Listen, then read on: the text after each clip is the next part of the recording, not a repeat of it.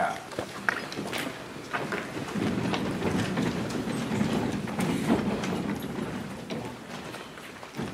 Let's bow as we pray. Almighty God, from whom all blessings flow, we thank you for the great citizens gathering today, God, in this great city of Rocky Mount, to discuss the business of our city and this region. May we bring integrity and character and dignity, dignity to our meeting, that when we leave here tonight, God, that the business of our city will be one, God, that will enhance the lives of the totality of our people. We bless you now, and we thank you in Jesus' name. Amen. All right, I ask a roll call from uh, City Clerk. Councilmember Knight. Here. Blackwell. Joyner. Here, Walker. Here. Daughtry. Here. Bud. And Miller. Here. Okay. All right, item number four is the approval of the minutes of the regular scheduled meeting of City Council held uh, February 10th of 2020. Is there any discussion? Do I have a motion? second. Moved by uh, Councilman Daughtry, seconded by Councilman Joyner. All, all in favor, say aye. All opposed, like sign. It passes. Item number five is the consideration of minutes and recommendations from the regular scheduled committee of the whole meeting held on February 10th of 2020. Uh, Number one, the Armor Rock Building Reuse Project, uh, Natasha Hampton, by consensus, council authorized the resolution to be placed on the February 24th, 2020 city council agenda. Item number two of that meeting was the second quarter fiscal year 2020 report of revenues and expenditures. Ken Hunter, uh, report, no action. Uh, Item three is Alexander Evans, Field Operation Complex dedication of a Brad Kerr. By consensus, the council approved meeting, moving forward with signs, plaque, and dedication during the time frame suggested and to have information relative to the appearance of the kiosk signs at a later date. And item four, closed session, which was an attorney-client privilege, economic development matter. Is there any discussion on that? Uh, do I have a motion? So moved. So moved by uh, Councilman Knight, I'm sorry. Second? Second. Second by uh, Mr. Joyner. All in favor, say aye. All opposed, like sign. Passes. Brings us to item number six, which is the community update uh, by our city manager, Rochelle D. Small Thank you, sir. Mr. Mayor, members of council, um, my comments today will be somewhat brief, um, but I think certainly necessary and important for you to hear.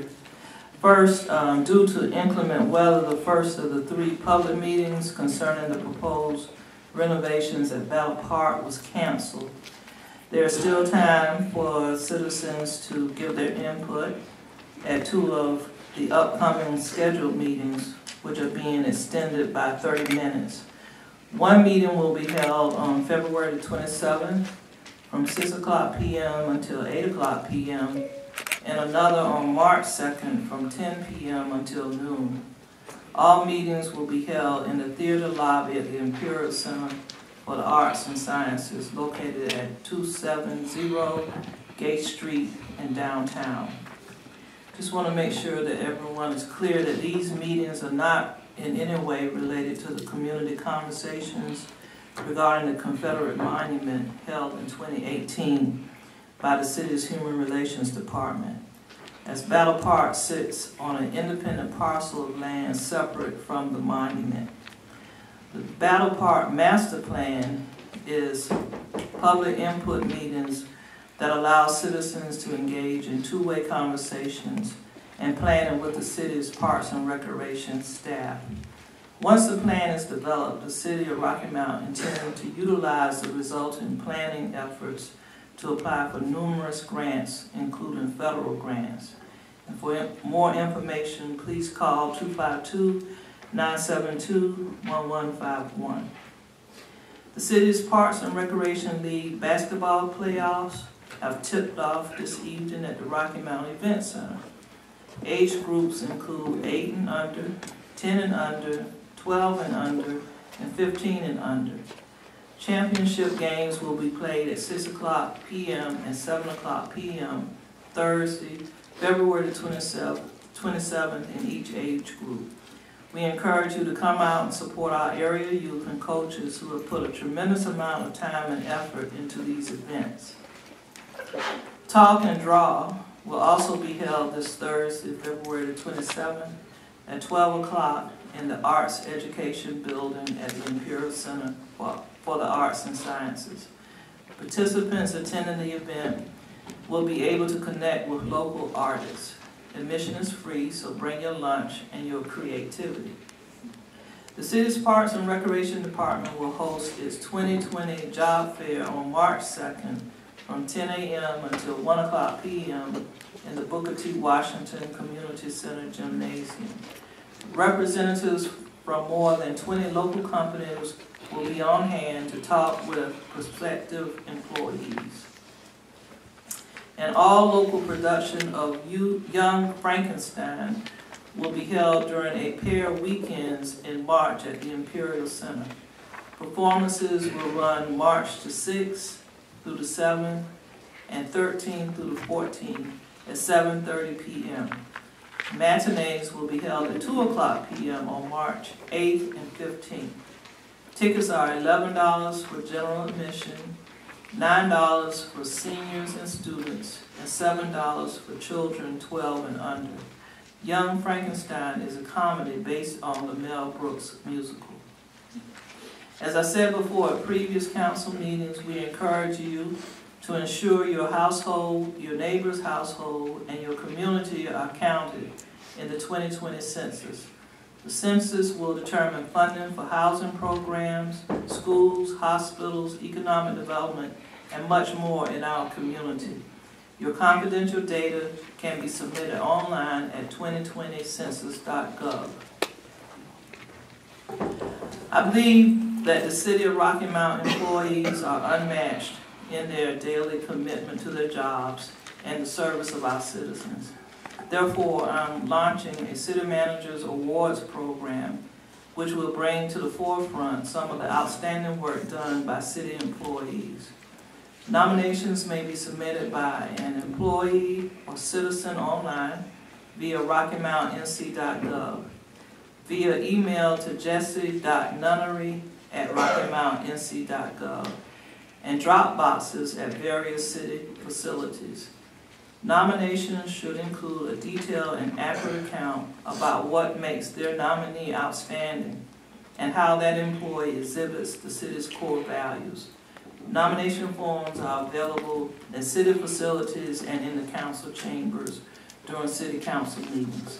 And then finally, it is my pleasure to introduce to you and uh, members of the public um, our newest member of our executive leadership team, and that is none other than Cynthia T. Jones, who begins her tenure today uh, with us as our newly hired Community and Business Development Director. Mrs. Jones brings nearly 20 years of municipal government experience to Rocky Mount, and she spent the past four years as the Edgecombe County Planning and Inspections Director. So I'd like to introduce to you our newest director, Mrs. Jones, Cynthia T. Jones.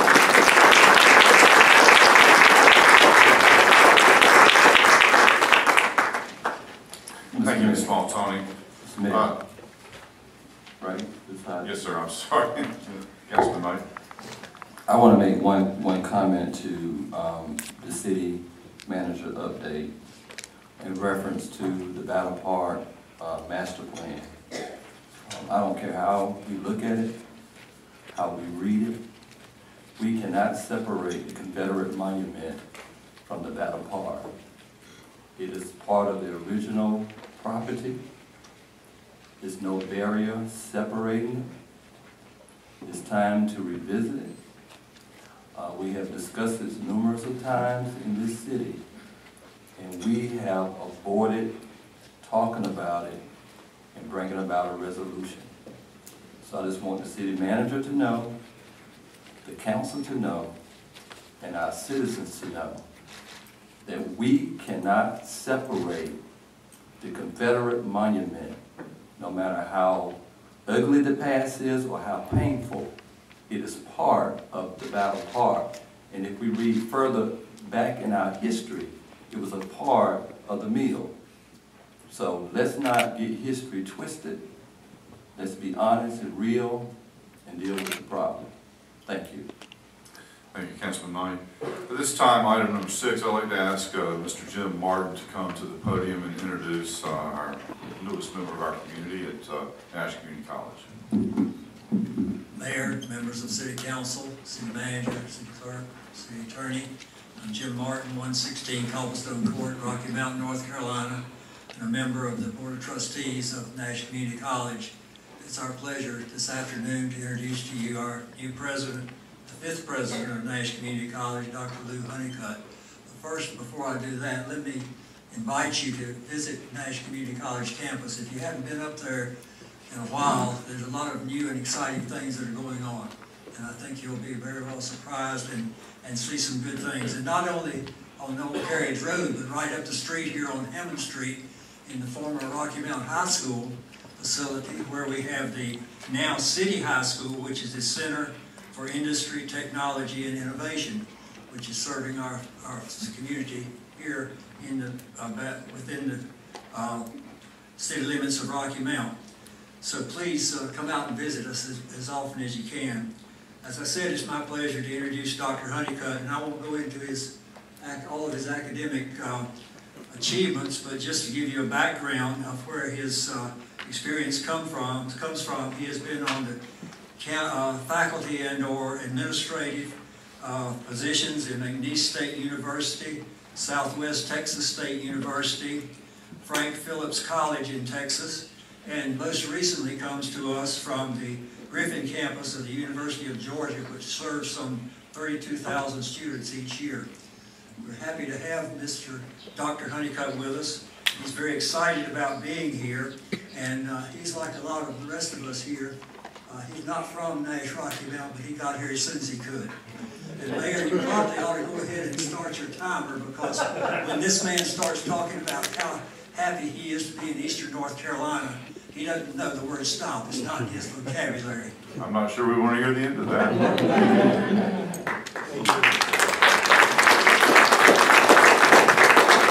Good afternoon.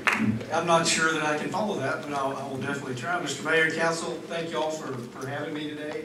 I bring you well, warm wishes and greetings from Nash Community College. And let me tell you, I did get here as fast as I could. I am a Texas boy, and well, it's been a long time since I've been a boy, but you know what I mean. But um, my educational journey took me a lot of places, and my father used to refer to me, after I finished my PhD, as having more degrees than a thermometer. And in some aspects, he was right, but I said, Dad, it will pay off. And he's up in heaven now looking down on me, but he, he will see that it has paid off. Because one of the greatest things that ever happened to me is a friend of mine from Chicago texted me or sent me an email one day and said, click this link, this is what you've been working for. Well, you never want to click a link from a friend that sends you something at work. So I sent back and said, what is this? And she said, just click it. So I clicked it, and it was a, the job description and application process for president, fifth president of Nash Community College. So I sent back to her and said, if this is so good, why don't you apply for it? And she said, because it's in the country. And I like Chicago. And so I clicked on it and looked, and literally within two minutes, I was hooked. And let me assure you, I was satisfied being at the University of Georgia. I was very happy there. I thought I would retire from there. But what I had gotten away from was mission. And my mission in life has always been to change lives and change lives for the positive. And the community college in Texas, I was there for 12 years, that's what we did. University of Georgia offered me great opportunities to learn leadership skills, but we were, really weren't changing lives to the extent the community college system does. So when I saw this opportunity, I went to work doing research. And it was like doing a PhD dissertation because I researched Nash County, Rocky Mount, Nashville, the original Nashville, I had to learn to start saying it that way, and many other aspects of the college because I thought if I'm going to pick up again and move, I was in Georgia for four years, this had to be the place to be. Well, I'm gonna tell you, from the time I interviewed, the board made me feel at home immediately. Um, at, at one point, they said, we think you may know more about us than we do, because I had studied Nash Community College very diligently, and this whole area. I am very regionally oriented. I believe what's, you know, Nash County funds part of the college budget, but I've got to look beyond Nash County, because what's good for the region is good for all of us. And I firmly believe there is an incredible future ahead, or I wouldn't be here. I, I see the great history that's here, I see the great present, but I see an incredible future for Nash County, Rocky Mount, Nashville, every one of the surrounding area. One of the things that we have always been focused on and will continue to be is the workforce. And that's where sometimes at the university level, I got a little jaded and off, off mission a little bit because we were more ivory tower, get your four-year degree to want to do something. I firmly believe that we have the potential workforce in Nash County to make us even greater than we are. But we've got to train them. And we've got to convince everyone that not everyone needs a four-year degree. Hmm. Let's get them the skills they need to be successful and get them in the workplace. And more importantly, let's keep them in Nash County. Hmm. So we are committed to that. We, our programs, our workforce programs are second to none. One of the highest ranking system officials in this state told me at my first meeting, pulled me aside and said, let me assure you, Nash Community College is the rock of Eastern North Carolina. And I said, if that ever changes, let me know. And we'll, we'll get back on track. We are very well respected, as is this whole county and community. I'm very much entrenched. In fact, I started November 1st, and I think I attended about 700,000 events between November 1st and December 25th. It was the perfect time to move to this area, because there's something going on every night at that time, sometimes two and three things. But it really got me engrossed and and involved in the community. I'm very committed to that. So anything that we can do for, for the city, you gotta come talk to me. I'm, we're committed. I can't succeed if y'all don't succeed. And I like to think y'all can't succeed if we don't succeed. We're all in this together. So with that, I would say I'd answer any questions that you might have. Please know that I am thrilled to be here. I tell everybody that, and they ask me where I'm from. I said, well, the college is in Rocky Mount slash Nashville slash Nash County. I talk about everybody at once. So I'll do that continuously, but um, we work very closely with Edgecombe Community College. We'll continue to because again, there's enough to go around. So again, we're very, uh, Dr. And I both are very regionally minded. So can I answer any questions for y'all? I know I'm on a time limit here, and- and Jim's right, I talk forever. So come by, you need to come to my office, please come to campus. Um, We'll sit and visit, and we'll talk about the future of, of Rocky Mountain National Community College. What questions can I answer for y'all? Thank you. Thank you all very much. I'm very happy. Okay, this brings us, brings us to the public uh, comment portion of our city council meeting. Uh, This is petitions from the public portion, and this is an opportunity for our public to comment, and we thank you for coming to city council to share your views. And we value all citizen input. Please be aware that sign-in sheets must be presented to the officer prior to the opening of petitions for the public. And any comments should be directed to the council as a whole, and not to individual council members or city staff. This is your opportunity to raise a question, present a request to council. However, in most cases, council members will not respond to public comments, but may refer a matter to the city manager or staff for follow-up. We ask that you speak from the podium in a civil, non-argumentative, and respectful manner, and give your name and address. Personal attacks which have the potential to disrupt the meeting will not be tolerated, and you will be asked to sit down or removed from the meeting. Time will be monitored in order to give everyone an opportunity to speak, and you will have three minutes. If an organized group is present, present to speak on a common issue, please designate one person to present the group's comment. If your comments are in regard to an item that is the subject of a public hearing, please wait until that item is introduced to speak. Time will also be monitored. If your comments are in regard to an evidentiary hearing, additional time may be granted. At this point in time, I would like to call uh, Judge Leon Henderson to the podium. Please state your address for the record, if you don't mind. Uh, My name is Leon Henderson, of course. I live at 17 Mockingbird Lane, Rocky Mount, North Carolina. I'm a retired lawyer and former Superior Court judge, and that man is a hard act follow. I have come here today to ask you again to install red light cameras at the intersections that have a high frequency of crashes. On August the seventh, two thousand and seventeen, I wrote to then Councilman Lamont Wiggins expressing my concern about the number of people I have seen running red lights and counting it on the delay to make it through the intersection. Mr. Wiggins arranged, Judge Wiggins now, arranged a meeting with the city manager, and assistant city manager, interim police chief Lou Williams himself and I on August the twenty-second, two thousand and seventeen. Interest was expressed, but nothing moved forward. On April the 9th, the city council meeting as a committee of the whole received a report from interim council, interim assistant city manager Pete Barney regarding the city's experience with red light cameras dating back to 2002. At the conclusion of this report, the committee voted unanimously to authorize the staff to move forward with drafting the interlocal agreements with the school system and authorize the city attorney to proceed with obtaining the required legislative authority. Two years have gone by, and to the best of my knowledge, nothing has been done. I'm interested in this for the following reasons. Some of my friends have sustained damage and injury at crashes at some of these intersections.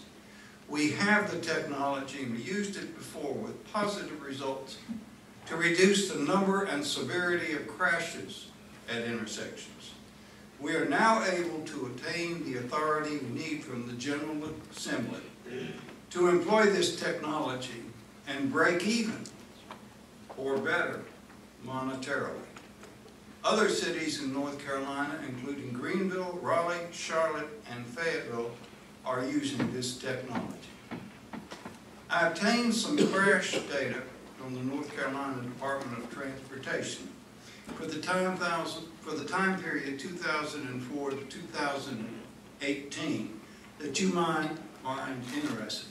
During that four-year, two thousand and fourteen to two thousand and eighteen, there were fifty-three crashes at Raleigh Street and Fairview Road.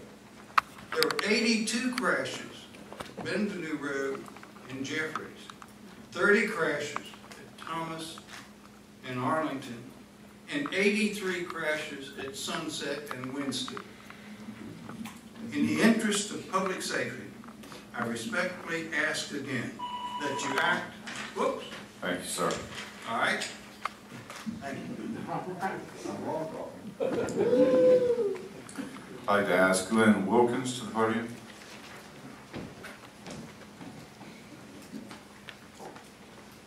Good evening, everyone. Mine is short and sweet. Um, I saw on the um, agenda too, I stood here last month about my concern about someone serving on the HRC that was not a citizen of Rocky Mount, and I understand that situation is resolved. I want to thank all the individuals involved who talked behind the scenes and um, understand it was nothing personal, but if you're not a city of this, a resident of this city, you shouldn't serve on the committees. So thank you for that. My um, second statement is last October, I stood here in front of you all, most of you all, and expressed concern about the South Rocky Mount Community Center roof. I was told at that time, and public was too, and it was in the telegram, that there were bids out. Well, at the January meeting last month, when I inquired, uh, I was told that um, the bids were out, and I said, well, that's what you said last October. I do want to thank Councilman T.J. Walker. I spoke with him after the January meeting and after I had spoken to that person who said the bids were out. And it seemed, I don't know if the bids were out or not, but a bid just went out in February. So I thank you, Councilman Walker, for listening to my concern and getting with the city manager and whoever else to get that done. And I noticed on the bid that um, it ended February the 20th, so I would expect we'd have a new roof at South Rocky Mount Community Center soon. Thank you. Thank you. I'd like to uh, respond to that, please, Mayor. Yes, absolutely, Councilman. uh, Ms. Wilkins, uh, thank you for bringing that to my attention. Uh, immediately in speaking to Madam Manager, uh, she kept her word, uh, and that's what we have to do as a city, hold each other accountable. She kept her word to me, I kept my word to you. I think that's what Forward Progress is all about, and building trust in this community. So thank you, and thank you, Madam Manager. With that, I'll ask uh, General Gordon, uh, Arnold Gordon Bray to the podium. If you would, uh, state your address for the record.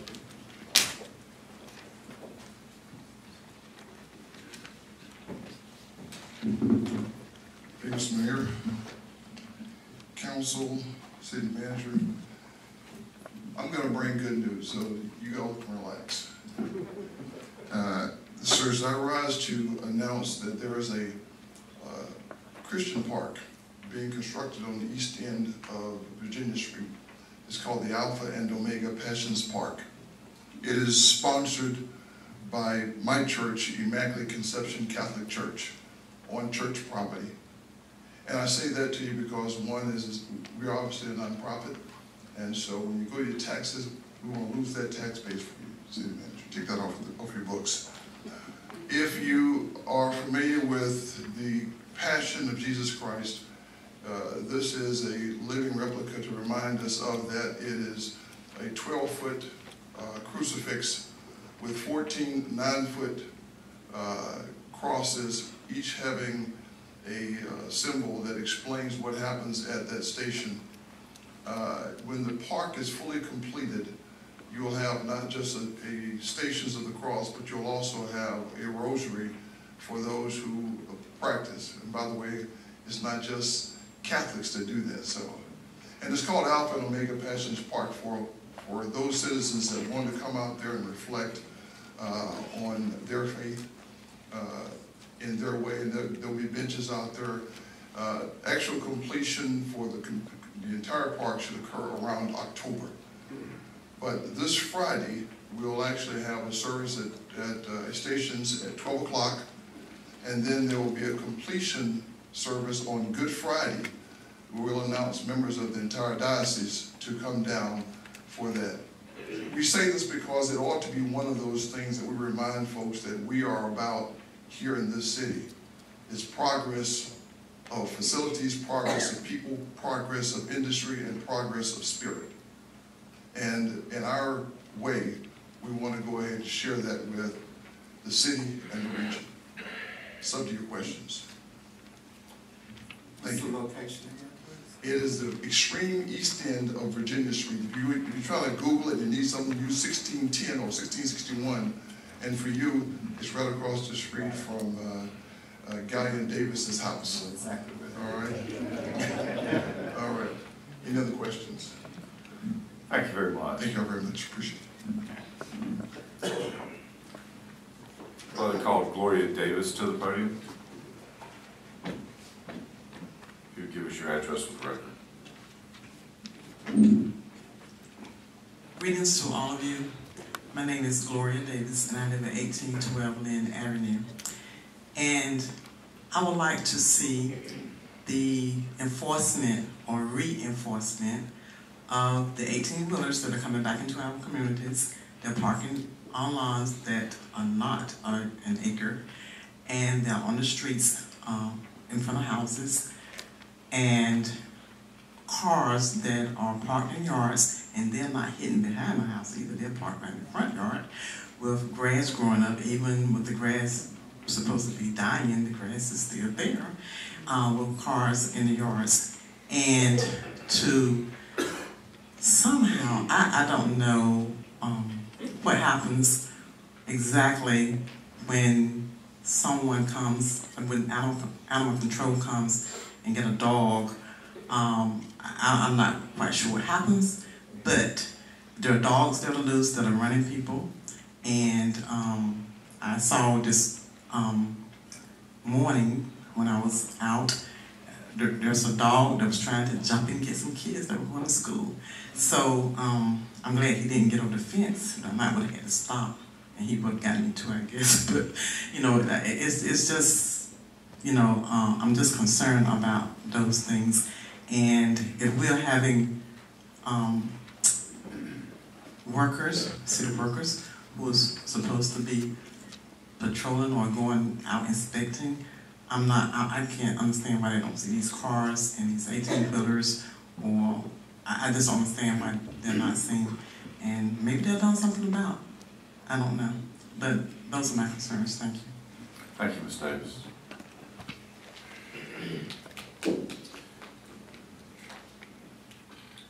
I'd like to call to the podium uh, Johnny Cunningham, please.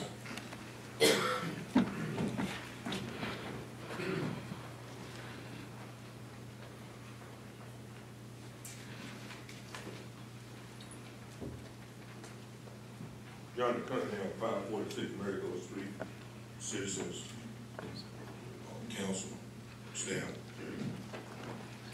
I'm gonna beg and plead today, stop the bleeding. Nash County and different churches and organizations, nonprofits, are strangling Edgecombe County.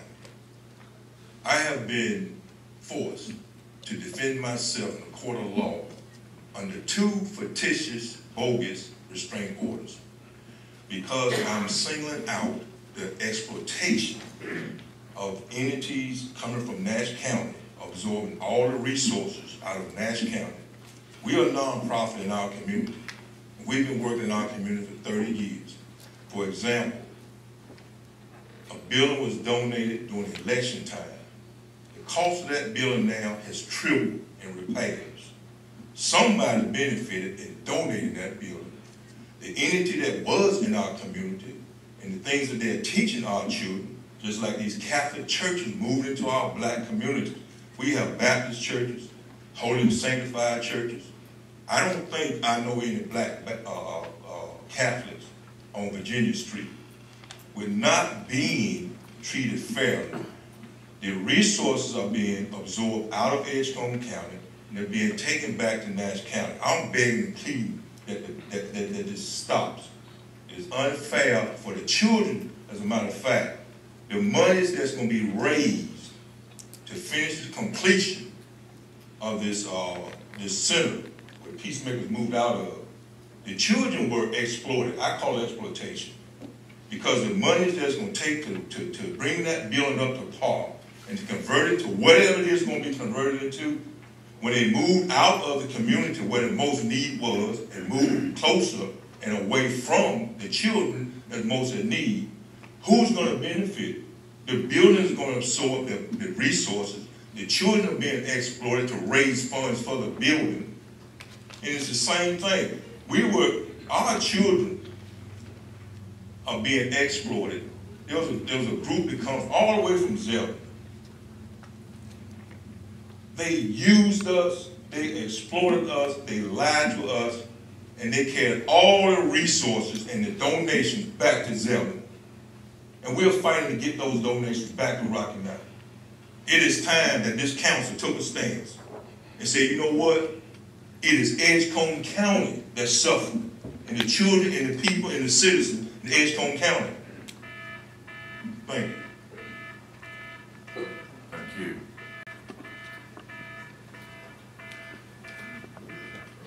That my three minutes or is? You've still got, you still got, you still got about forty-five seconds. Let me give you another example of exploitation. Bassett Center, on Thanksgiving morning, a young man, we worked in that Bassett Center for five years. One of those restraint orders restricted us. And within that time, Thanksgiving morning, a young man climbing through a window accidentally fell to his death. $5.9 million was allocated for that Bassett Center from Nash County investors.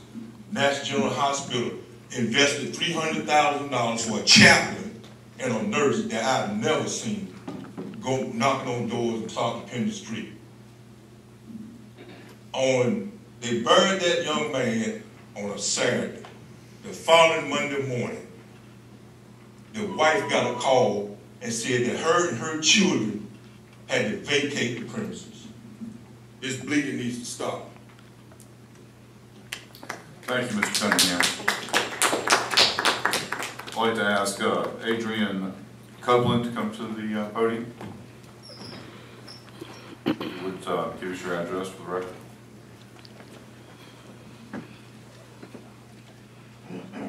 Adrian Copeland, 6020 Haywood Drive, Rocky Mount. I spoke to this council two meetings ago about tax foreclosures, and since then I've done some research and found that the city has done foreclosures in the past. Most recent one I could find was from 1985. Although that's a long time ago, this is good news that at one point there was a process in place that could be resumed. Also, Richard J. Rose was the commissioner listed in those proceedings and attorney for the plaintiff, so we've got someone who may remember how things were done. So, where do we start? This process is no doubt a daunting one to undertake, so I propose we narrow down the scope to a manageable one to start while forming the process in a way that is scalable to include the entire city once the process works smoothly. As a city, Rocky Mount has already designated the historic districts as worthy of preservation to safeguard the heritage of our city, so it makes sense to start there. There are seven historic districts in Rocky Mount. Four of them are local historic districts, and of those four, Villa Place spans three city wards. It's also my favorite, so I started there. Out of 129 parcels in Villa Place, there are 29 that are delinquent in city taxes. That's 22%. 18 parcels are delinquent on city taxes two years or more. 11 are delinquent six years or more. Four of them are delinquent 10 years or more. There are 15 properties that are under a minimum housing code that's 12%. So together, there are 38 properties delinquent or under code. That is almost 30% of the homes in one neighborhood. I spoke to one property owner who told me that they don't prioritize paying their property taxes because they know that the city doesn't do anything about it and they prefer to pay other things first. It gets worse. There are repeat offenders.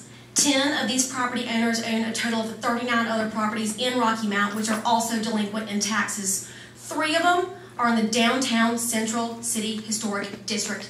13 of them have been delinquent for 10 years or more, and I don't know exactly how long because online records stop there. These properties owned by these 10 repeat offenders have open bills with the city of Rocky Mount totaling over $84,000. I have copies of this data here for almost all of you. These property owners that are repeat offenders is where we start. You can initiate tax foreclosures, or if that is too much trouble, North Carolina now allows for receivership for vacant properties. You can petition a Superior Court to appoint a receiver to take control of property. The receiver can sell the property or rehabilitate the property and then sell it free from title encumbrances to a new owner. No matter how you do it, the city needs to begin taking these properties back and not allowing the owners to disrespect our city and our citizens any longer. I will continue to research this issue and come up with plans and solutions, and I'm more than willing to meet with any of you or anybody else that wants to discuss it further. I've found a lot of ideas and solutions that could work here. Thanks. Thank you, Ms. Excuse me, yes. This time I'd like to call Mr. Warren Daughtridge to the podium.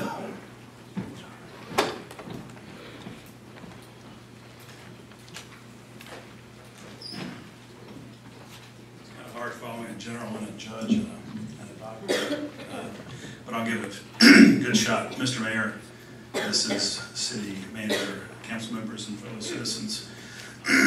Excuse me, uh, thank you for your opportunity, my, your, my opportunity to address you today. I'm Warren Daughtridge, and I live at 117 Manchester Court. Many assumed I might be done with my council engagements after, uh, with no basis and no fact and no merit being excoriated following my previous address, but it couldn't be further from the truth. I'm now more energized than I have ever been.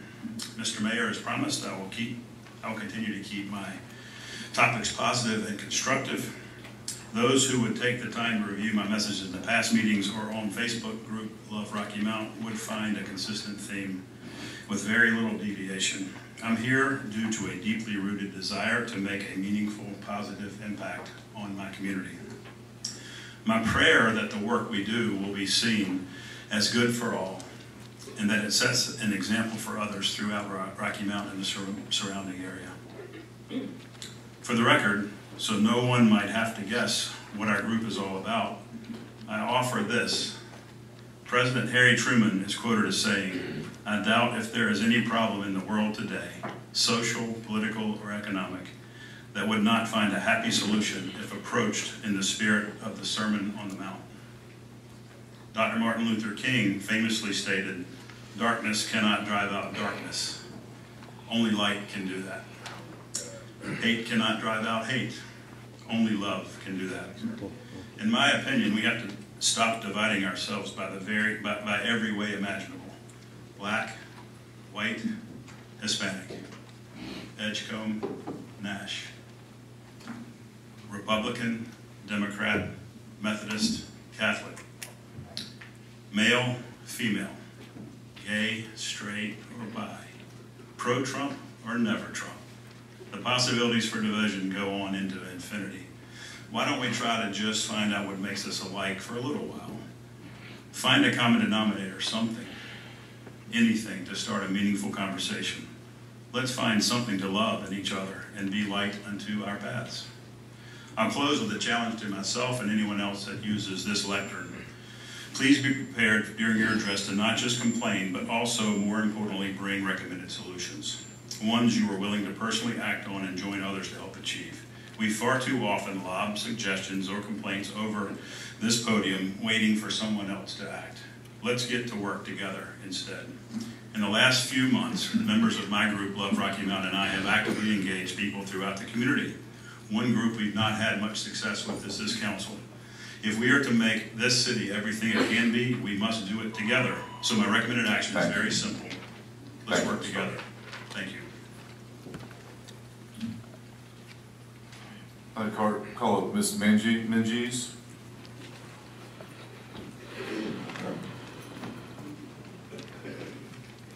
Uh, Maury Menges, live at 2220 North Wesleyan Boulevard. Um, And I would like to reiterate what Mr. Daughtridge said, love is the common denominator. Um, I was reading a little bit in the paper today about, or it might have been Saturdays, um, about the demolition of houses um, that are obviously sound like they're falling apart, since there's not a whole lot demolition to go for. But is, there all were houses or individual buildings. Does that group have anything to do with businesses that look like they're kind of dilapidated?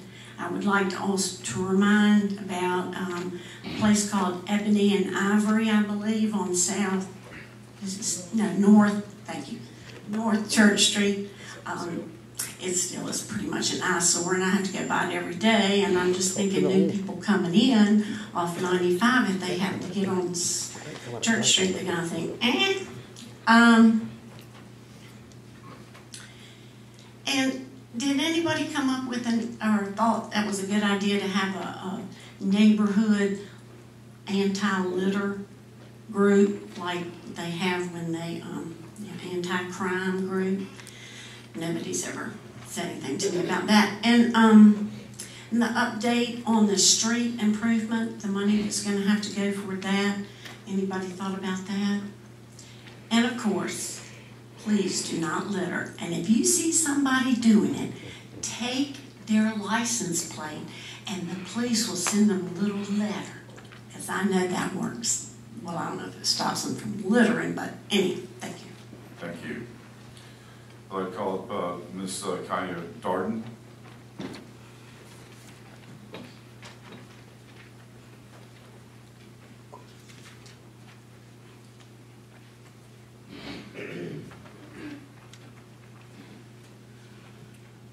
Good afternoon. My name is Kaya Darden. I reside at 1600 Barnes Street, Rocky Mount, North Carolina, Ward 1. Greetings to the city manager, mayor, city council, and citizens of Rocky Mount.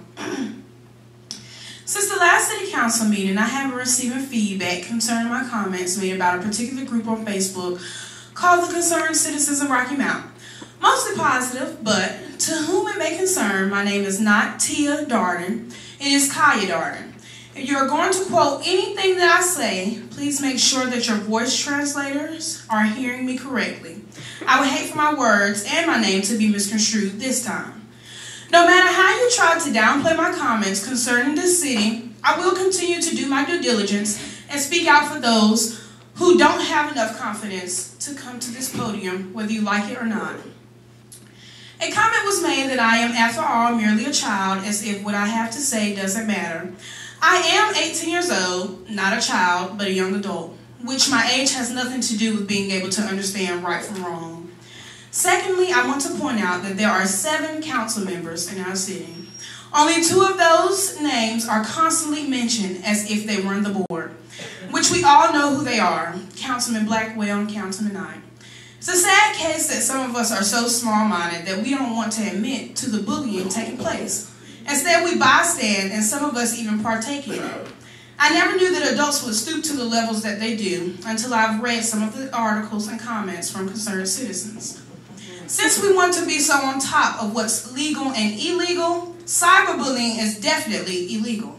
I would like to commend Councilman Knight and Blackwell for their integrity and leadership character, continuing to thrive in the midst of all the stones that are being thrown at them. I also want to gladly announce that April 10th, 2020, myself along with some other youth will be hosting our very first annual Easter egg hunt at Lancaster Park in the Hillsdale community. All activities will be open to the public. If anyone would like to be a sponsor or contribute to our event, please feel free to contact me at 252-886-0803 or Archie Jones in the Human Relations Department. Thank you for your time. Thank you. Ms. Landria Williams, or Landria Williams, Landia. I get that right? If you could give us your address for the record. Greetings, Mayor, Councilman, and City Manager. My name is Landia Williams, 1824 um, Thomas Trail, Rocky Mount. Today, I would like to shine a light on a problem that has been overlooked, a problem that I have experienced for myself, and a problem that Rocky Mount Housing Authorities ignore. If you are not aware, Rocky Mount Armstrong Apartments has a huge bed bug problem. My mother and I moved into Armstrong Apartments in October 2018. As we were moving in, we were notified by neighbors that the family before us had a bed bug problem. As we proceeded to move in, at first bed bugs were not a problem for us until about March of 2019. As soon as the problem occurred, we notified the office and were put on a waiting list to receive treatment for several months as the problem just kept getting worse. Nobody ever came to treat it, and we notified the office again, and they said there was nothing they can do until we came up on the list. They were very rude and did not care because they didn't have to live with the problem.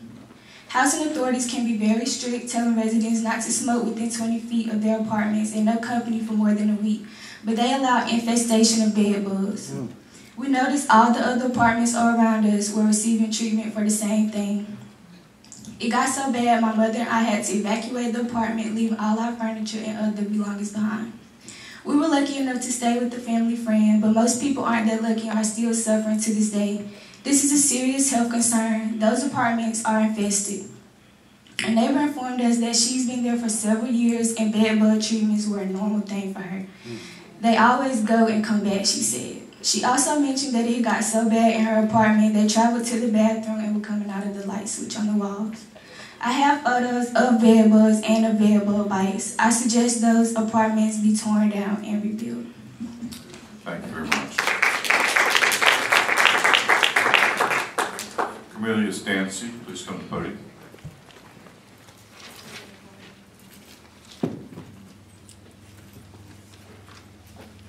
Mr. Mayor, Mr. Mayor, Yes, sir. uh, I have a question for Ms. Williams. Okay, Are please. are you referring to the original Armstrong Apartments? Yes. Okay. Good evening, protocol is already been um, established, so I'm not going through all that. Um, I only signed up to speak on the citizens' comments and televised meetings, but um, throughout the meeting, I- I'm gonna add HRC and um, the Confederate Monument. Um, HRC, I stand here proudly as a member of the Rocky NAACP, where I have been a member since nineteen ninety-two. Um, and I have served Mount and Edgecombe County and outside of Edgecombe County, Nash County well. So for someone to say that they are being underserved, not this guy, and I do it out of pocket. Also, um, I would challenge anyone, my work that has been done on the HRC, I'm a policy and procedure man, and, um, my appointment to the board was, um, they said it had been resolved, they think it was resolved because they came to the meeting, it's been resolved. It just haven't taken place yet, and it will take place soon. However, um, the Confederate monument, when I spoke on it the last, uh, last meeting, um, the newspaper and, um, social media ran with it. That needs to stop. The same people talking about they love Rocky Mountain the same people that are doing it or allowing it to be done on their sites. People ain't crazy. They got me blocked, so um, people send me stuff. Uh, citizen comments. I am glad um, um, Mr. Rochelle Tony um, spoke to the Confederate Monument thing, and I'm so glad that Andre Knight followed up because that was one of my issues. Like I say, um, they took it and ran with it from my comments. And I appreciate what Andre said because, the Councilman Knight said, because it does go hand in hand. And I served on the Human Rights Commission, we had meetings, we paid someone to come in, and so it's time for the board to react. You wanna talk about something, talk about the money that was spent to do, do those meetings. Uh, when it comes to televised meetings, I know people wanna see them televised, but I also think you need to do a study and see how effective they are. Um, looking at the meetings, and what? I mean, you're gonna spend all this money to do what? I think some people come down here just to see themselves on TV. It's crazy. And, and, and you all need to, um, address some of this mess that come up here before this council that, that, that makes no sense, just wasting people's time. Come in and talk about something that makes sense. That young female and a couple boys, they had some good comments that you can, uh, uh, measure. Some of the other stuff, quoting, quotes, we, we can, we can quote, we can read that anytime. Uh, I know this is Black History Month, but I serve it throughout the year, so this is somebody else's month, it ain't mine, because I do it year round. But again, back to the televised part, you talking about spending a lot of money. Once you check with Nash County, uh, Pitt County, other places to see, um, how effective it is. I happen to be home sometime, I've been working in Rocky Mount for thirty-three years. Thank you, sir. So, see how If you, if you don't mind though, if you read your address for the, uh, for the record. Oh, okay, I'm sorry. That'd be great. One two seven Midway Lane, Tarboro, North Carolina, live seven miles out of Tarboro, three miles out of Pine Top. My PO, bo- my address is PO Box thirteen ninety-one Pine Top. Thank And, you, and, but, but really, my, my, my address is thirty-four seventy-five Wellswood Boulevard, where I've been working for thirty-five years, thirty-three years, just left work and came here, so I can video this meeting for free. Thank you, Mr. Davis. Again, I'll ask uh, Darlene Spencer Harris to the podium.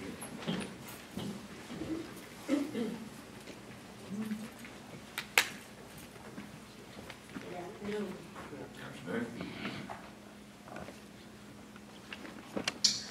My name Darlene Spencer Harris. I reside at 537 Arlington Street, Ward 3, where Councilman Joyner is our councilman. Well, I'm here today to first make a couple acknowledgements on the opening of the newest location of Blanche's Bistro, which is located at 116 Tarboro Street. I had the um, opportunity to patronize them on their opening and welcome them to downtown historic Rocky Mount. The other thing that um that's come to my attention that as Blink just came in, Prime House moved out. Prime House will now be located at the Mills, along with Cool Geeks, which was originally downtown as well. Although this is a good investment for their on their behalf, they must remember where the roots lie. The roots lie in Edgecombe County, where they were able to establish their business and to grow their business to allow them to opportunity to move to the mills, which is located in Nash County. So I say that along with the Salvation Army, which was also located in Edgecombe County, Peacemakers, which was also located in Edgecombe County, as though Edgecombe County is used as a starting point. Not a remaining point, but just a starting point. Let me get my feet wet. Let me get some of this water in my soul, and then I can move on to bigger and better things. In the meantime, you're forgetting the people that gave you the opportunity to build your business.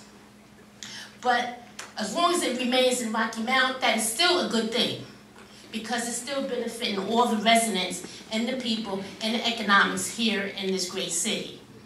So with that, I would say that we need more investments to come on back downtown to fill these voids because now these are voids. These are now voids. These are things that's going to need to be filled. Otherwise, it's just going to be another dilapidated building, unoccupied, going down, another eyesore. Somebody want to foreclose on it. You know, it's not helping the community by these people moving out, although it's growing the whole city as a whole. So, on that note, one thing that I do have a concern about is this pole, this utility pole that fell on the opposite of one of my driveways on Arlington Street the pole had been in terrible shape for some years now. So I had called about the pole. The pole does not belong to the city of Rocky Mountain. The city is not responsible for that pole. That pole has been laying down now. Oh, almost. Thanks, ma'am. Thank you. I'd like to ask Ms. Nathlin O'Ree to the podium. You're our final speaker on lucky number 13.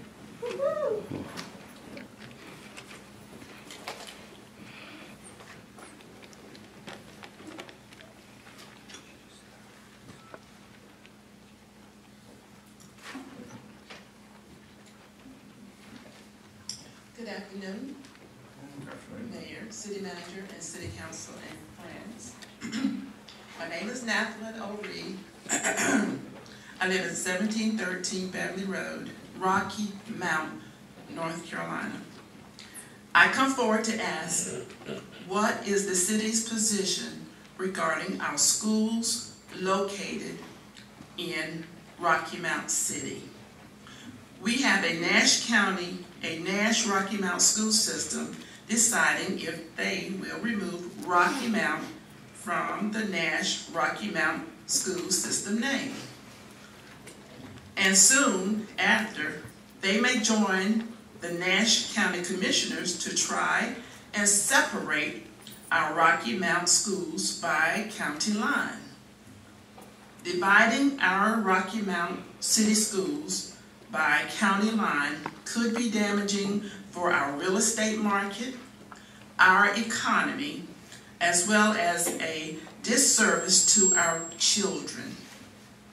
Unchallenged, the school system and Nash County will continue to take money allocated to serve Rocky Mount children and invest it exclusively in new schools in western North Nash County and continue neglecting those in the Rocky Mount inner city. As a city, we should not sit idly by.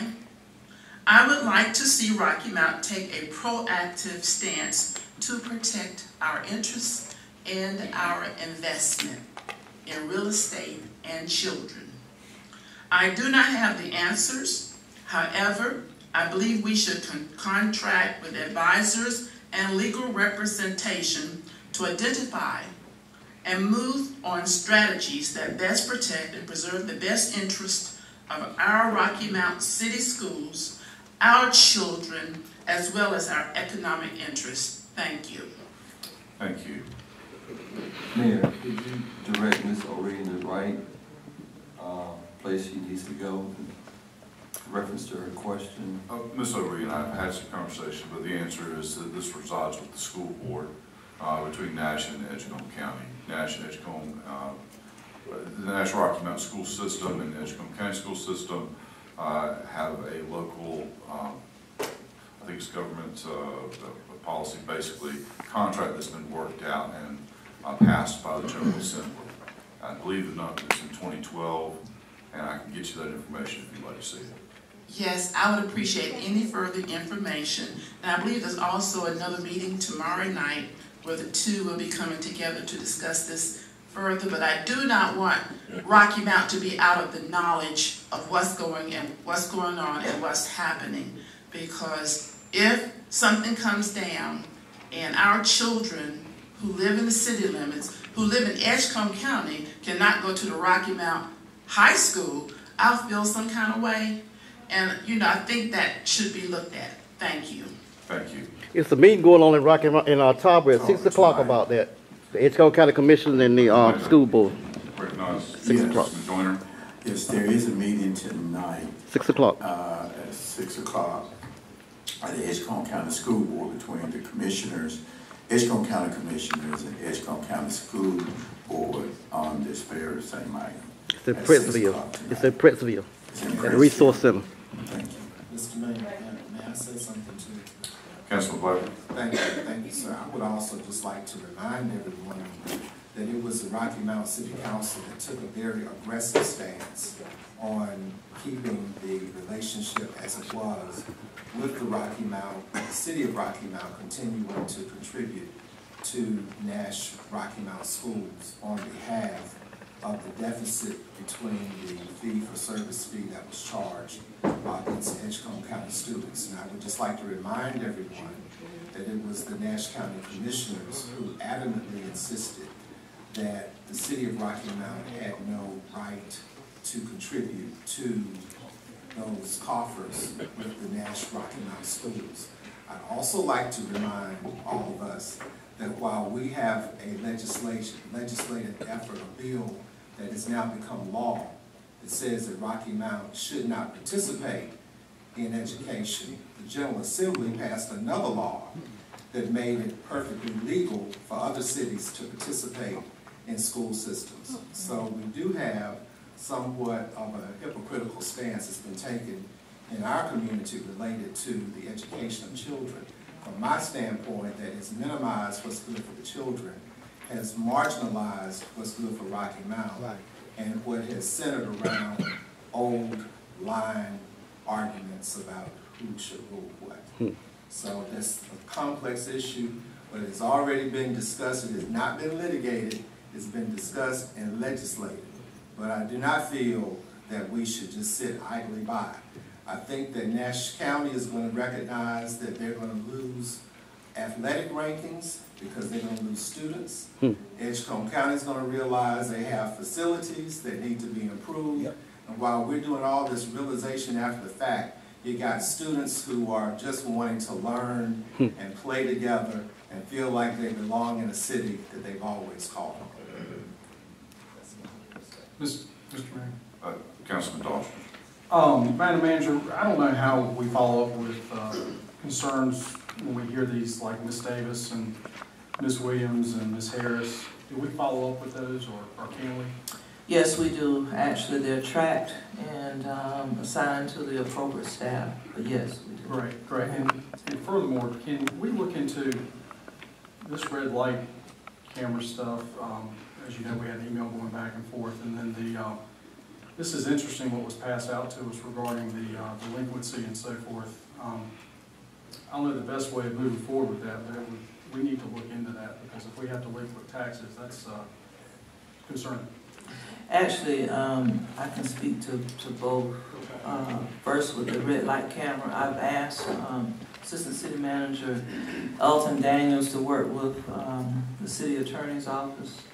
He and his um, staff will be able to um, look further into the red light camera programs, both for the City of Fayetteville as well as for Greenville. Uh, It's quite likely, I know for sure, it will require some enabling legislation for that to happen. Um, some of the challenges that we have, of course, is that we'll be dealing with two school districts as opposed to one, because they do have red lights in both, uh, both counties. Uh, so, um, we're hoping though that we can, uh, perhaps have a discussion with the city council. Uh, I won't say we'll be ready by the time for the retreat, but maybe in April. Um, the legislature, of course, co- goes back into session. I'm not so sure we'll be prepared for that, but I think we can give you some direction about what it would take to institute a program like that. Um, the city most likely would have to, uh, front the money, uh, for a contract. Uh, those other two jurisdictions do have, uh, contracted service. They're not, uh, necessarily running the program themselves, and that certainly would be one of my recommendations is that it's contracted. I actually was deputy city manager in Fayetteville when that program came, came back. Um, so then on the second, um, piece of information which goes really hand in hand with, um, a discussion I'm sure we'll have this, uh, this evening about the demolition recommendations.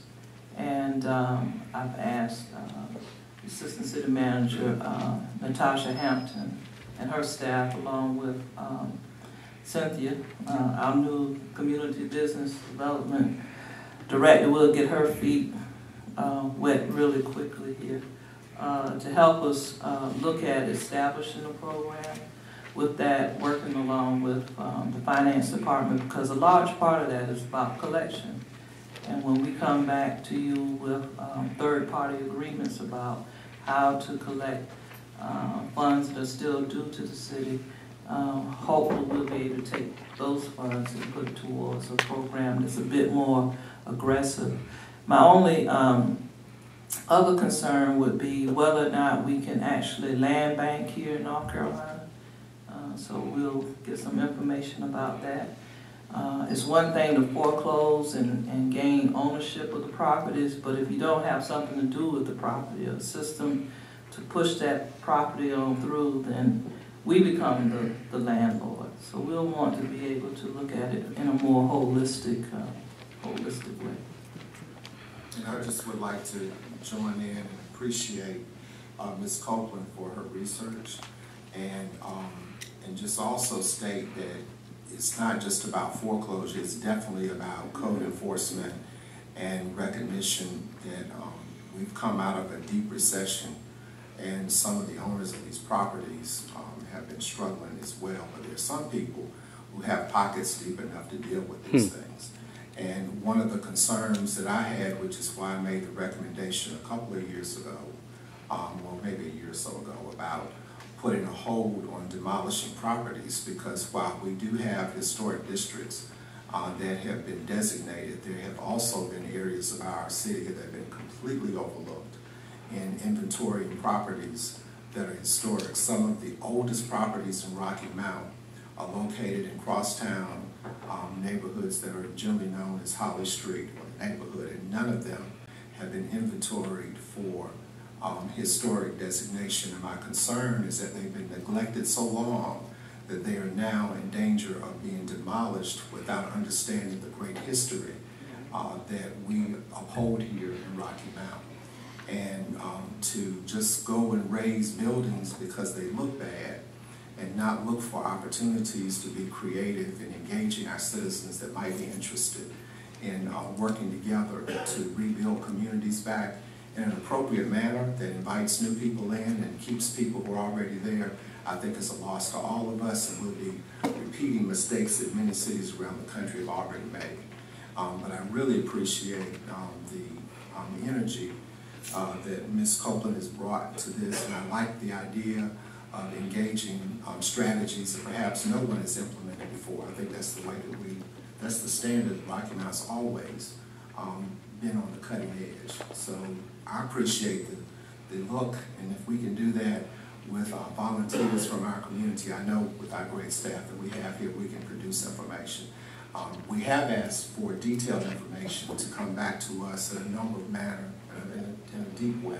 So I would expect that we would have um, information presented to us that presents facts, pictures of repeat offenders, who those individuals or organizations are, and then strategies to work with them to hurry up and get those properties brought, brought back into order, or other ways to get them out of those hands. If people can't fix the properties up, there are plenty of folks who would love a chance to um, take an old property and make it work.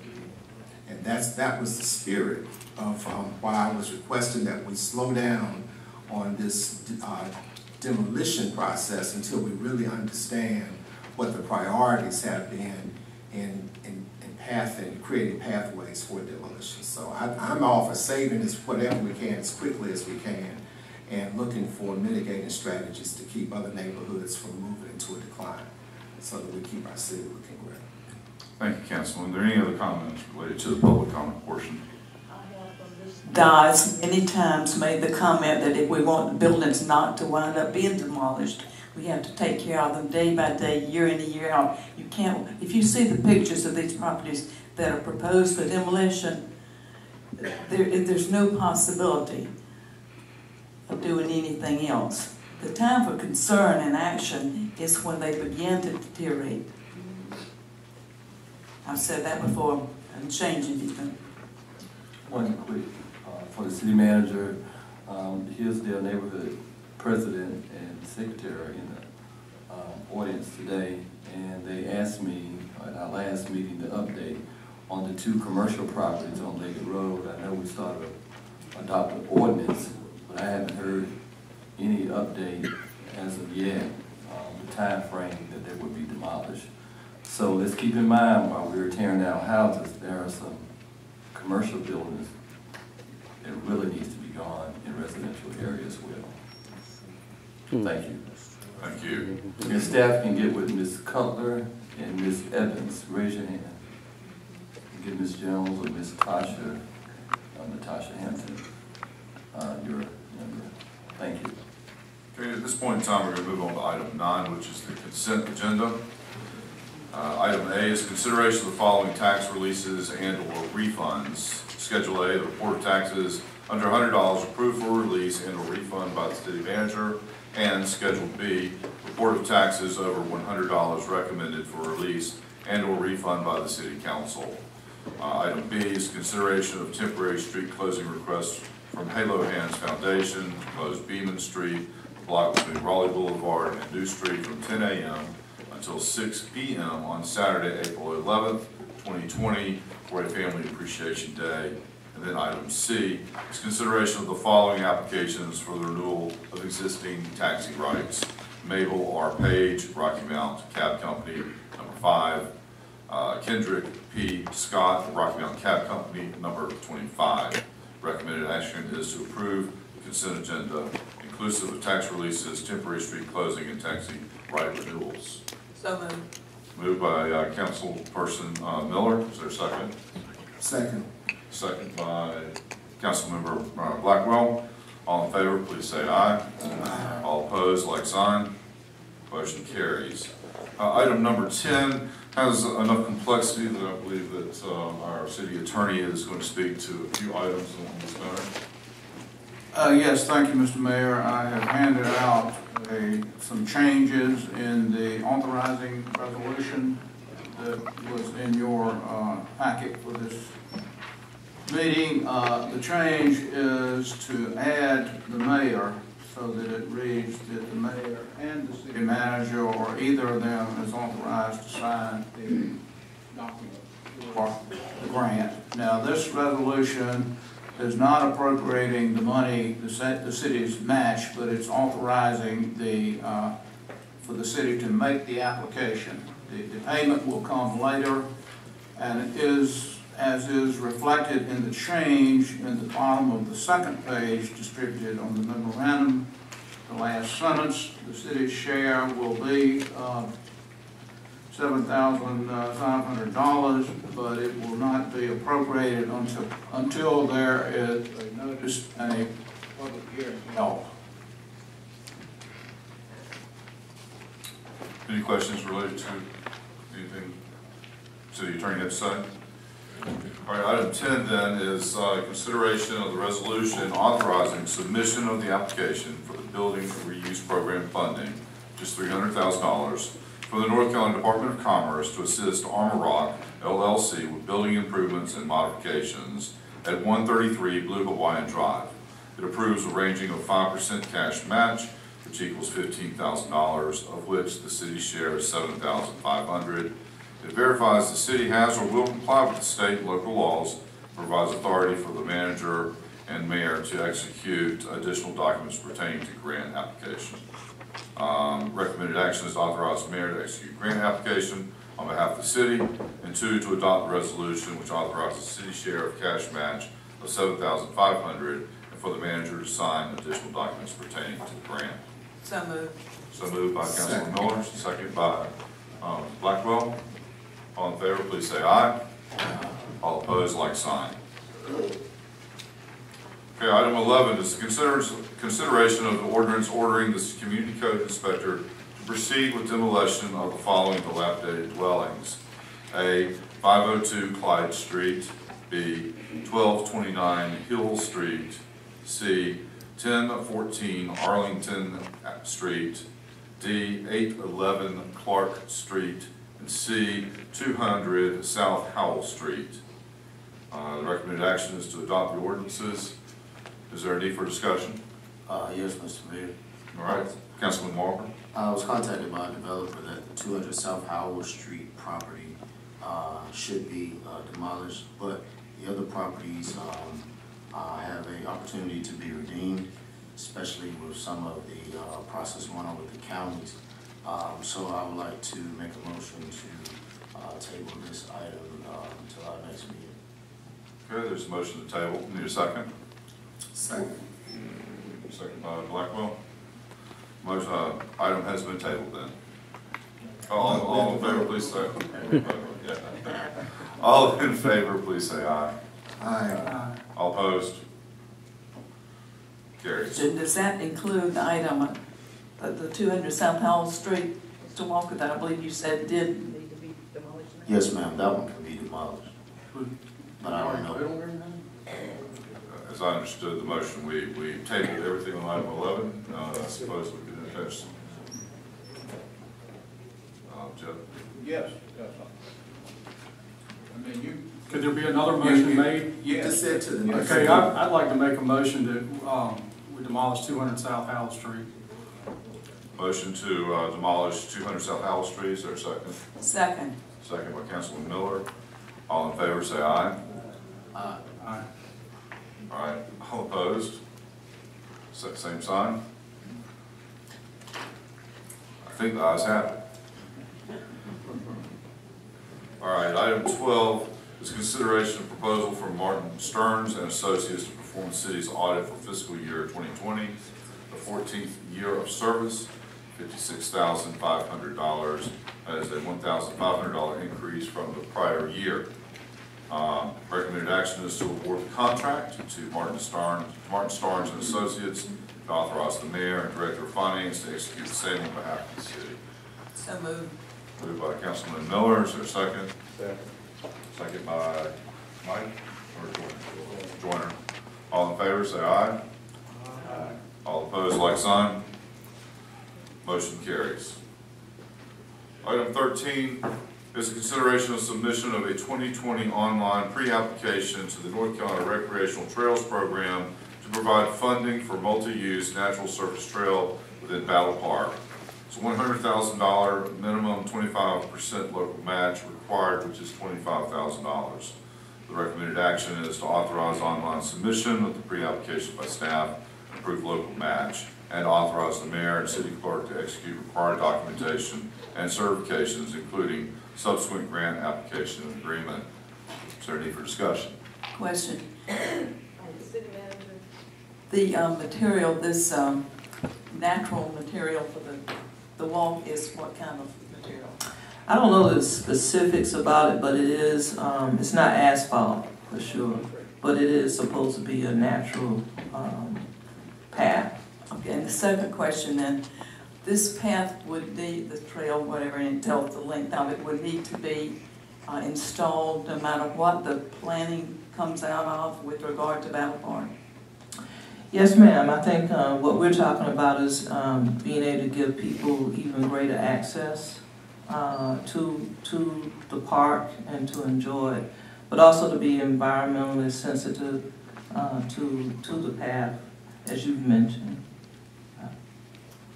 Okay, and so the greater access that would be made available by this additional trail will not further impede the natural nature of that park? That's correct. Thank you. Any other questions? Do you have a motion? So moved. All right. Blackwell, uh, is there a second? Second by Joyner. Uh, all in favor, please say aye. Aye. All opposed, like sign. Motion carries. Item fourteen is consideration of offer from Old Corral, three thousand dollars for the purchase of eleven ten Sycamore Street. Recommended action is to adopt the resolution of intent to accept offer to purchase, which authorizes city clerk to advertise offer for upset bids pursuant to general statute one sixty-eight two sixty-nine. So moved. So moved by Blackwell, is there a second? Second by Walker. All in favor, please say aye. Aye. Opposed, like sign. Motion carries. Item fifteen is consideration of the municipal agreement with the North Carolina Department of Transportation uh, for adjustment and relocation of city-owned water infrastructure necessary for the North Carolina, for North Old Carriage Road widening. City is responsible for reimbursing the North Carolina Department of Transportation seven hundred thousand, sixty-seven, seven hundred sixty-seven thousand, eight hundred sixty-seven dollars and ninety-four cents, which is fifty percent of the construction cost. Recommended action is to approve the agreement, authorize the mayor, city clerk, and finance director to execute the same on behalf of the city. Is there a need for discussion? I move for approval. Uh, Councilman, and the second made by Joyner. All in favor, please say aye. Aye. All opposed, like sign. Item 16 is consideration of the following bids. Uh, A, electric transformer. I'm going to butcher this. Let's just go with electronic, electric transformer award to Nexier Power Solutions at a total cost of $138,029.08. B, train station cooling tower replacement award to Eastbound Mechanical LLC at a total cost of $207,048 which includes base bid plus alternates. C, uh, residential gas meters award to Elster American Meter Company, LLC, at an estimated cost of $112,150. That includes 1,250 gas meters at $89.72 each.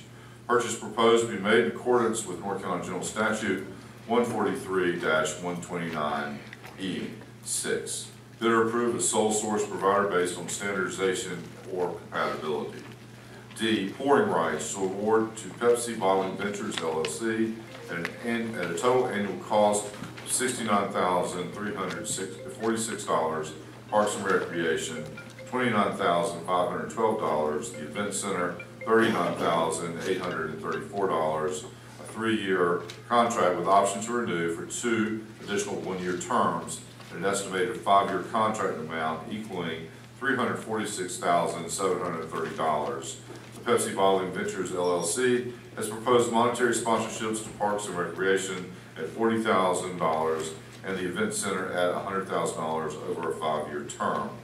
Recommended action is to award bids as recommended, authorize the purchasing division to issue purchase orders and execute bid documents for A and C in accordance with the council's award, and three, to authorize the mayor and city clerk to execute bid contracts for B and D on behalf of the city. Is there a need for discussion? Mr. Mayor, I've got questions regarding the pouring rights. Very well. Councilman Daughtridge? Um, I guess my questions come in, one about the rebates that are listed in here, and then also, why would we go to a sponsorship? Why don't we, why don't we just, um, reduce the total amount of the cost by hundred and forty thousand dollars for the two entities involved, as opposed to, um, having a five-year sponsorship, because that would be a reduction of twenty-eight thousand dollars per year. Um, you know, this is new to me, I don't, I'm not in the industry that does this, but it, you know, the, the sponsorships don't sit well with me. The rebates, I need better understanding because it, do we have a metric and how we're gonna keep up with the metric regarding the rebates once we hit a certain level? I'll, I'll have to ask, um, the finance director to, um, respond if she can, or we can get, you know, further information for you. But this was a bid process, and this was the lowest responsible bid. There were two bidders, um, Pepsi and Coca-Cola.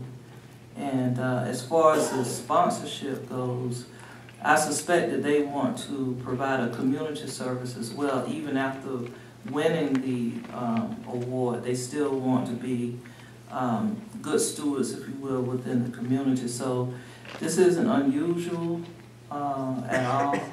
Uh, it's just that it comes in the form of a sponsorship where they can hang their banner, uh, at our facilities. And for that, you know, we, we also capitalize from, um, their contributions. So it's not out of the ordinary, but I don't know, uh, Amy, if you have anything else to, uh, add to that.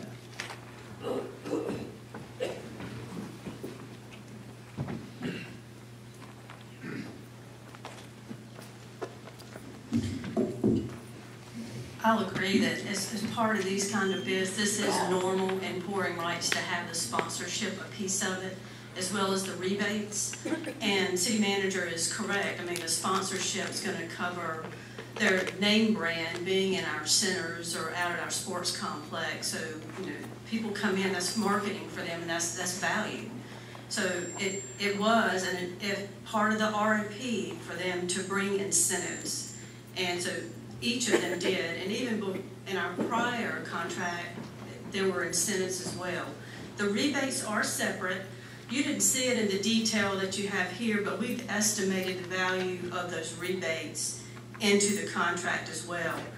The actual rebate, they, they were about the same. There was very little difference between Pepsi and Coke in the rebates, but all in between the sponsorships, the cost of the product, and the rebates, it was still clear that the lowest bidder was Pepsi. How, how are we gonna monitor the rebates? I assume if we get a certain level, we purchase a certain level, we get one rebate, if we go to another level, we get an extra rebate. How are we gonna monitor that? We can monitor that based on the invoices. I mean, some of it's based on the product that you buy, and the rebates can vary based on the type of product that you buy. So we'll, before we pay invoices, we should see our rebates as part of that. All right, just from my industry, just experience has taught me the more complicated they make these things, the uh, more room for um, movement in there there is. And That's what concerns me. So, so, uh, Mr. Mayor, may I speak? May I speak? Good, yes, sir. Um, I recall when we were developing, um, the approach, the marketing approach, um, with the event center, that we knew we were entering into a new arena for Rocky Mount. And it seems that after we had, um, completed our contract and were working on building the facility, we had a very early question about how we needed to market and brand Rocky Mount and be able to participate in a huge industry in sports marketing. And I thought that we had conversations around setting goals for um, just this type of thing with recruiting dollars from uh, companies for, to support our bottom line efforts to take some of the ease off of operational cost and to look at ways to get industries uh, committed and excited about being a part of the event center. And we also ask for a connection, a formal connection in our marketing strategies and our fundraising strategies to tie together Parks and Rec opportunities with the event center as well.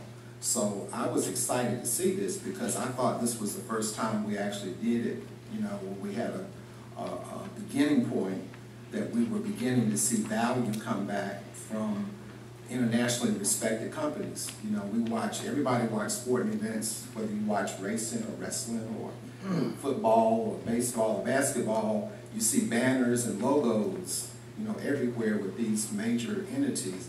And I'm happy, for one, to see Pepsi saying that they value Rocky Mount so much they want to put their banner up and they're willing to pay for it. So I'm happy about it. And I'd like to make a motion that we adopt this. Hmm. I'll second your motion, but I have a question as. Um, the, Well, first of all, I need us to vote on this. I've got, uh, Lige, I believe, had the floor in terms of the questions. No, you've got, you've got a motion. Oh, you got a We have a motion motion, and a I've got a second. second, and I've got questions and discussion, okay? Um, the scholarships, those are the scholarships that I think is in human relation far as, um, summer youth program, Is that correct? That we offer a scholarship for, uh, those, um, young people who cannot afford to participate in some of the programming, uh, with Parks and Rec. Is that correct, Mr. Archie Jones? Correct. That's correct. So I'm glad to see that forty thousand, maybe it could be a little bit more than forty thousand, but, um, this, the citizens do appreciate that because we have a lot of youth who parents are not able, uh, to pay the fees for some of our programs, and um, they can be awarded scholarship if they are referred to uh, human relations. So I, I appreciate the reporting rights, the banner, and the um, scholarship, and I'd just like to see that number grow even higher. Appreciate that. Thank you. Before I call for a vote, I'm just going to say that a number of business ventures that I've had the opportunity to negotiate board rights, this is not inconsistent with what you would see in the language. Although I have to admit and understand your position, it feels a little squishy, but, uh, but the reality of my experience is that this is how that has historically worked. Um, Is there any additional discussion that we have on the floor? Yes, I'd like to say, if those of you that didn't go to the event center this weekend, if you had to stop by there, the event center was definitely in Rocky Mount from uh, our motels to our eateries, but definitely full for at least three days complete because of the event center doing a great job. And I had the privilege to stop by and see that and, and really proud of the staff and what David Jordan and the staff is doing at the event center. I would, Yes, for clarification, my concern with the sponsorships really was why don't we just reduce the cost? And I understand that the sponsorships, they get their names up there and everything, and, and I think, that I'm confused now with what Councilman Knight was discussing about scholarships. There, isn't there a deviation between scholarships and sponsorship, or are they the same thing? I don't know, monetary sponsorship to Parks and Rec, so I guess it's the terminology. Well, I just didn't know if they were talking about putting just their Pepsi logo up there. I know that's a question for staff. I just asked that question, and Archie said correct. So is it correct or not? Means we got money to do something with. Right, so let's leave it at that. Thank you, Amy. All in favor? Excuse me, I think that's the one job I have. According to you. The With that said, I have a motion on the floor, I, uh, but all discussion, any, all in favor, please say aye. Aye. All opposed, by like sign. Motion passes. Item seventeen goes over uh, various vacancies and appointment positions that we have. Are there any appointments or nominations? for We such? do have an appointment, it's not based upon what Mr. Wilkins said, podium. Decision of the NAACP in Rocky Mount, who voted on Cooper Blackwell as being representative for human relations. So I'm just here to tell you, be on your Ps and Qs when it comes to race relations and any other relations in this city. He's a smart, intelligent, and he's very conscious of what's going on in this country, in this state, and in this city. So be ready for a serious dialogue and be ready to act upon whatever he brings to the board along with other members. I just want to thank Mr. Dancy. It was not your fault that you were singled out because of your address I can handle it. because when the memo came to the NAACP, like any other organization, it says you have a representation from your organization, not mentioning that they have to be a citizen of Rocky Mount, but they just have to be a member of the organization, just like the chamber, just like the Rotary, just like anything else. And so I just wanted to clear that up. And, uh, and the clerk and I and the manager, we are clear on that. So I just want to thank you and appreciate you for your uh, bringing truth to power to this board. And I know you're not going to stop there. Definitely not. You're going to be even. Uh, There'll be two of us now. Two of them, yeah, two, hopefully three. So I just thank you for all the, uh, what you've done, and we welcome uh, Cooper Blackwell the fifth. Is that correct, Mr. Black? That's correct. The fifth to the Human Relations Board. Thank you, Councilman Knight. Are there any other uh, appointments or nominations? Well, I just want to make clarification on the planning board, which I served on for many years. Um, Each ward has a representative on the planning board, in addition to Edgecombe and Nash County. And, but the, the difference is the Edgecombe and Nash County representatives, if, if there are any, are not allowed to vote on anything that resides within the, in the city, only in the, um, extraterrestrial, whatever, I forgot what it's referred to. ETJ. ETJ. Um, so, um, just want to make that clarification there. Okay, thank you. With that, we'll move on to. Yes, uh, Ms. Darlene Spencer for the committee, uh, Community Appeals Board.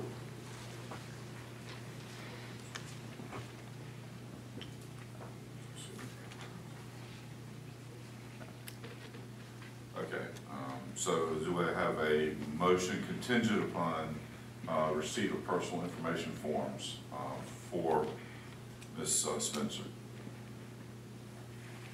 Yes. Yes. Is there a second? So moved.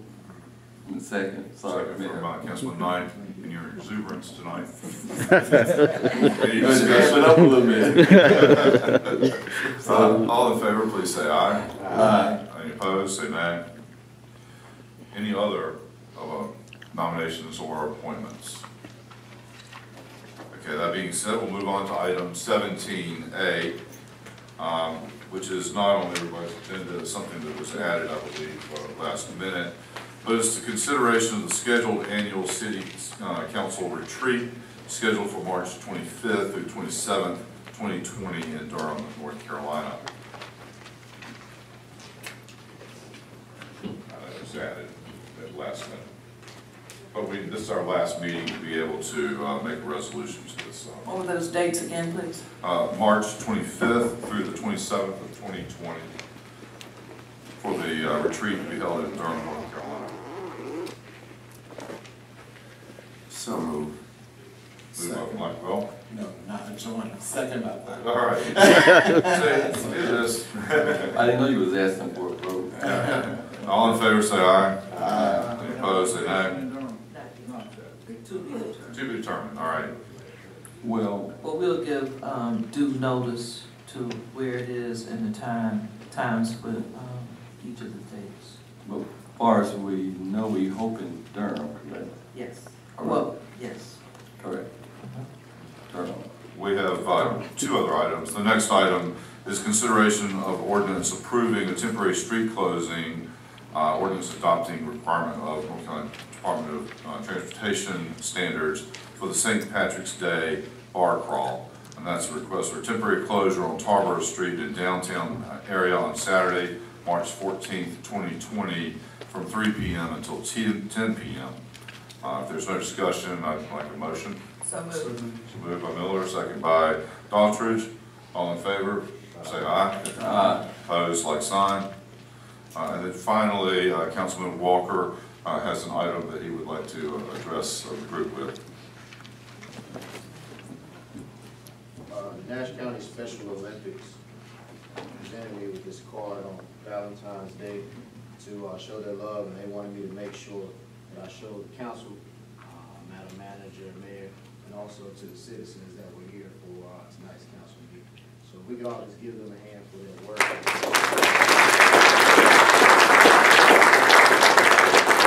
If you get a moment, just follow them on Facebook, Nash County Special Olympics, and you can uh, be able to be a part of everything they have going on at South Rocky Mount Community Center.